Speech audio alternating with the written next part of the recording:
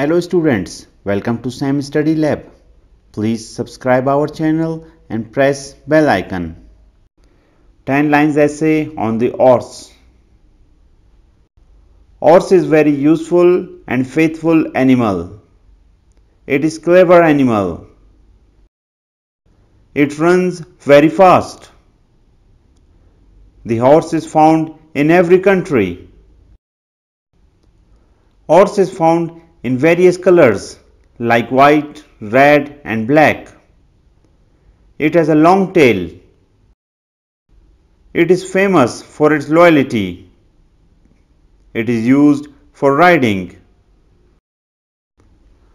Horse eats grass, gram and hay. In past, horses were used in battlefield.